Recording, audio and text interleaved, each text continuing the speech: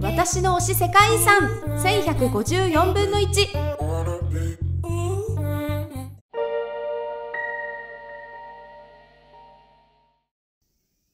い、好奇心の入り口。どこでもドア。今回のゲストは達川康之さんです。よろしくお願いします。よろしくお願いします。ようこそお越しくださいました。よろしくお願いします達川さんは、えっと、マイスターであり認定講師であるということなんですけど、プロフィールを簡単にご紹介お願いします。はい、福井県出身の達川康之と申します。1973年生まれで、えー今年40今48歳で今年9になります。なので結構行ってます。はい。見た目すごい若くないですか？福井県のご出身、はい。普段は何をなさってるんですか？えーと普段は、えーとまあ、福井県っていうとあのメガネが有名なんですけど、まあ、はい。ちょっと、ちょっと違うんですが、はい。私は、えー、とこのメガネの枠の、えー、と輸入して国内の、えーお店とかに、えー卸す仕事をしてます。へー。まあ直接だから消費者の方じゃなくてお店とか問屋さんに商品をお売りする仕事をしてます。はいそんな福井県で唯一の認定講師でいらっしゃるということで、はい。結構あのいろんなところで世界遺産の講義をなさってるということなんですけどそうですね。どういう。ことなさってるんですか、えー、と主にその、まあえー、と町のまあ公民館のようなところでお話をさせていただいてるんですけれども、まあ、大体今のところ、えー単発1回限りの講座で、まあ、主に、えー高齢者の方をお対象とした講座をやらせていただいてます。なので、なんていうか、障害学習講座みたいな感じになっているので、あのー深く掘り下げて世界遺産とは何ぞやとか、こういう問題点、課題がありますねっていう感じではなくて、うん本当のこうトピックス的なところをあかいつまんでご説明して、えー少しでもまああの世界遺産に興味を持っていただければなみたいな活動をしてます。すごいなんか新聞も見たんですけど 新聞はちょっと なんか福井県代表ということで。あの自分にちょっと売り込んでそういうお話が来ないかなと思って売り込みをして、まあ、おかげさまでそれでちょっとお声掛けいただいて、認定講師になったのが、えー、と一昨年なので、えー実質まあ活動、まあ、コロナでこういう状況なのでそういう障害学習講座みたいなのも中止だったり延期っていうのも結構あったんですけど、まあ、大体1年半ぐらいで10箇所届くか届かないかぐらいのお話させてもらったり、あとちょっと地元のラジオ局に呼んでもらってみたいなことをやってます。ラジオって何を話すんですか？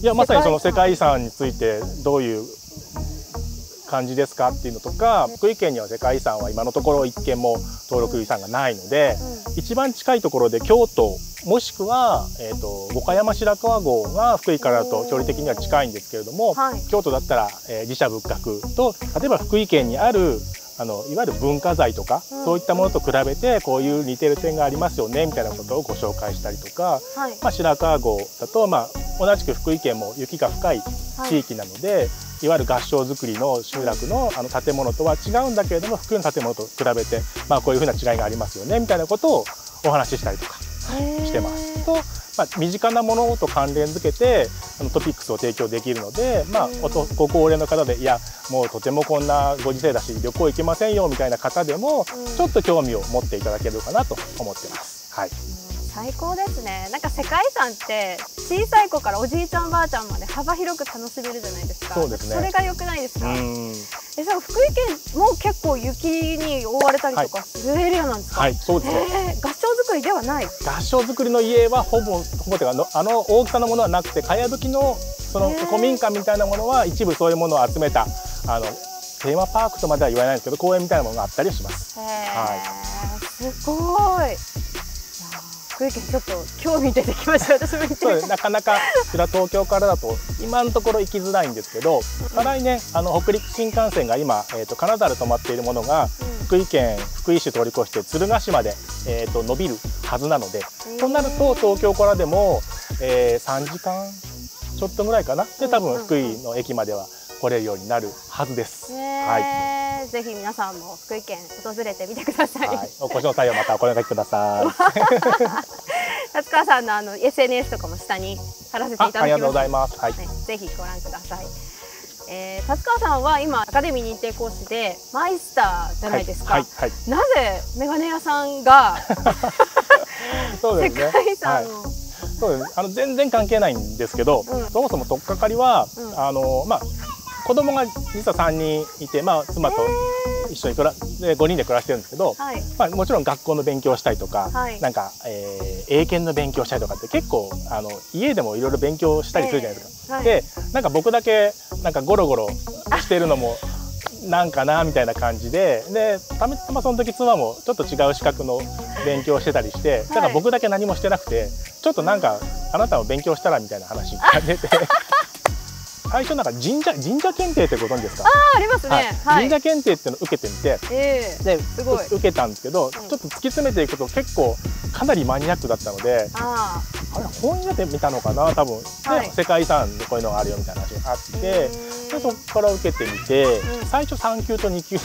同時受験で受けたんですけどおーすごい。で受かるとやっぱ次も受けたくなるじゃないですか。わかります。うん。でかさらに、まあ、そこそこ年あの重ねているので、うん。やっぱり忘れちゃうものが多くてうんはい。あの2級で300件うん。ですよね。うん。うん。で僕その次1級受けようと思った時はまだ1000ん？1000件ちょっとぐらいだったのかな？はい。と、えー、1回そこで勉強やめちゃうと300がゼロになってまた1000覚えなきゃいけないけどあ300覚えてからプラス一応700で受験できるよねっていう感じだったので じゃああと700頑張ろうみたいな感じですね。えーはなるほど。えじゃあストレートに行ったんですか？もうあの。い、一応そうですね。一応ストレートに。はい。マイスターの勉強ってお一人でなさってた？一人です。そうです。はい。え。どうやって勉強したんですか一人で？昔の記憶をたどって受験勉強の時のようなうん。感じで、あのなんていうんですかね。今の方あんま使わないと思うんですけど単語帳ってわかります？いはいはい。あのこれが裏表ではいはい。書いて、でマイスターに関してはそう一級のテキストの基礎知識のところの赤字とか、うん。あの太字のトピックスがあるじゃないですか、はい。であれを単語帳の表に書いてその裏にその説明を40文字ぐらいでまた書いてでそれをこうバーって覚えてはい。とそれを、まあ、結構な数ありますよねそのトピックスだけでも基礎知識で。それを一通りなんとかものにすると結構多分論文もその組み合わせで書けるようになるから、うんうんうんでそんな感じですね。であとはあのほらなんだろう時事問題が絡んでくるので、うんあのトピックス検索でニュースを世界遺産で検索してはいちょっと読んだりみたいな感じですかね。はい。えー世界遺産ニュースで検索していろいろこう情報収集するそうですよね。はい。ですよねうんうんやっぱそれがじゃないと普通に多分テレビとかうんネットニュースとかでも自分からこう入っていかないと世界遺産に関するものだけってなかなか出てこないから。出てこないですうん多分自分から取りに行かないと難しいんじゃないかなとは思います。はい。えどんな問題が出たんですか？それがね、そ れがね、20年。認定講師はなんか2020年の講習を受けたんですけど、はい。その前もあコロナの絡みがあって飛んだりしてたり、うんあのほら希望者が多数だと抽選でみたいな形で外れたりしたので、はい。ただマイスターにを取ったのはその12年前だったと思ううん多分18年とかあかな？だと思います。はい。ーなんだろう18年なんだろう。えっ、とね確か長崎長崎そう長崎そう。ああ長崎のはい。あの専門家の意見を取り入れつつ事前審査をうんぬんかんぬんみたいなやつが確か出てはい。答案の作り方としては、あの時事問題掘り下げ自分の言葉では掘り下げられなかったのでそのトピックス自分の知ってるトピックス単単語の方に強引に論点をずらしてそっちを膨らませつつ字数をこう作ったみたいな感じですね。あとはその本筋だけをずらしすぎると多分採点者の方の心象がおそらく良くないので、うん。論点を完全にはずらさずに、うん。あの肉付けを自分の知ってる単語と世界遺産でやっていくみたいな感じではないかと、はい、思います。そう思います。うん。はい。世界遺産検定取ってよかったなって思うことありますか？メガネのこう、うん。えーまあ、営業みたいなことをやってるんですけど、はい。あのいつ行っても同じ話しかないない中で、うんあの新しい話題をこう提供できたりするのでえ、名刺アカデミーで作れたりすると実はこんな名刺できましてとかっていうと、ーはい。今更名刺もらってもと思いながらうんってこう二度見するみたいな感じで見てくれるのでうんだから本当は目が全然関係ないんですけどうん。ただその、まあ、人と人とのねうんあのうん。お話なのでそういうな中でうまく使っていくと、まあ、どんな仕事でも多分活かし方はうん。あるのかなと思います。コミュニケーションツールにはすごくいいですよね。そう世界遺産は結構行かれることありますか？これがね全然行かなくてお恥ずかしい限りなんですけど、ええ。実はそのメガネの輸入をやってるということで、まあ、海外行くことも実はあって、あのまあ、今コロナで全然行ってないんですけど、あのコロナで行く前はあの展示会とかが海外結構あちこちであって、うんうんうん。多分一番大きなその展示会メガネの展示会っていうのがうん。あのヨーロッパだとミラノであるんですね。えでミラノというと、はい。あの最後の晩餐ー、はい。なんですけど、はい。予約しなきゃいけなかったりとか。サンタマリア・デ・レグはいラッセですね、はい、なので結局えっ、とねなんとなく悔しいので外側だけ見に行きました。ただ予約しないじと中入れないのでっていう。そうそうなんですよ。私も見れてないんで確か。あとは空き時間にちょっと遠いけど足を伸ばしてベネツィアまでとかは行ったりとか。あーいいですね、あメガネの発祥イタリアでしたっけ？発祥？発祥？あ発そこまでは分かんないごめんなさい。発祥までわからないです。すいません。こうそのイタリア関係の世界遺産。行きたいなと思ってます、うんうんうん仕事はもちろんしつつ、強引に空き時間を作って、うん。ちょっと伸ばしてうん。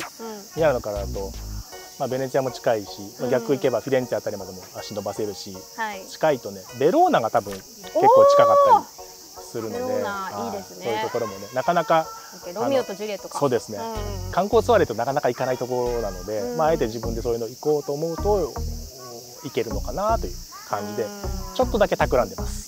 な。ファッションの街、はい。ミラノ最高です。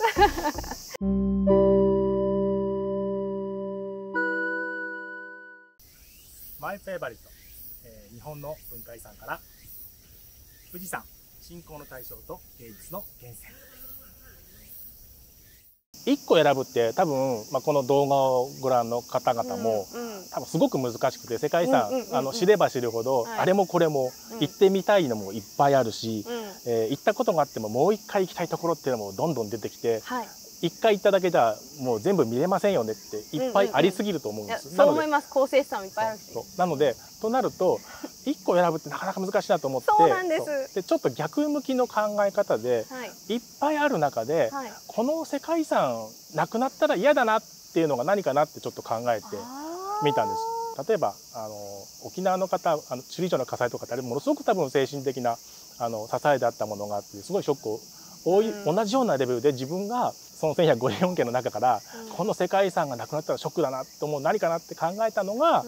えー、と富士山。うん確かに。多分日本人として、はい。あの僕もその福井県に出身で住んでいるので富士山触れる機会ってほぼほぼそれこそあの写真とかうん絵画とか、まあ、新幹線乗れば、まあ、見なんとなく写真撮ったり、うん。飛行機乗れば上から富士山見たりとかって結構なんとなくなんとなく見ますよね。でそこまであの静岡県とか山梨県の方みたいに日常触れていて、うん。思い入れが決して深いわけではないのに、うん。もう自分のなんて言うんだろう。文化的なアイデンティティの大きなイメージを占めていて、割と日本人みんな富士山きっと好きだよねっていう感じ、それが世界遺産としてのその信仰の対象だったりとか、うん。芸術の源泉とかっていうものももちろんなんだけどもっとあの深いところで精神的な中心に結構、あの日本人としてのアイデンティティの中心に結構富士山があるのかなって思ってさらに言うと今度、まあ、海外の方に日本の世界遺産説明する多分割と出やすいのは京都とか、うん。京都奈良、うん。あとはまあ姫路城あたりはよく出るでしょうし、うん。あとはあの別の方向性で原爆ドームみたいなのももちろん出やすいと思うんだけど、はい。結局あの富士山って海外の方にもすでにまあ馴染みが深いんだけれども、うん。あの山として、まあ、観光で登るもの見るものはもちろんだけども、うん。そういう信仰的なものとか文化的なものっていうのを、その説明するときにやっぱりしっかりあの押さえておきたい世界遺産かなと思ってで選ばせていただきました。回答がマイスターですね。さすが認定講師さんっていうや感じですよ本当に。なるほどね、うん確かにその亡くなったらどう思うかっていううん視点はすごくいいなって今思いました。今回のマイスター試験はあのロシアウクライナ紛あはい争で。あのその紛時紛争時に亡くなってしまう文化財に対してどう思うかっていうことがあったんですけど、うんすごいなんか今考えさせられまし実は今回世界遺産検定50回記念ということでね、うんなんかマイスターアカデミー賞みたいなのがですね。あれってもちろん受けた人の中での最優秀ってことですよね。そうですよね。はいマイスターって何回も受ける人っていらっしゃるんですかね？マイスターリスターはあんま聞いたことないけど、やってみたいですよねいやでもなあれ結構あの受験料がいいお値段するんでね。リスタ料っていうのをちょっと設あそうですだけていただいてからマイスターリスタをうん50回記念とかでもし作っていただければ、でもそれででも認定講師なのってなんか全然ダメだったらあこんなんでちょっとみたいな ちょっと嫌ですよね。今認定講師で活動されていらっしゃるからあのきっとアップデートはもうかなりされてらっしゃると思うんですけど、うんそのあんまりされてない方もいらっしゃるんで、はい。まあその認定講師という肩書きというかそういうものを持っている方はもうアップデートを常にしていただきたいなっていう気持ちはありますね。はいまあ私も含めて戒めとして思いたいと思います。マイスターを受けようとしてる後輩たちに何かアドバイスとか一言お願いしま 受験料がねちょっと。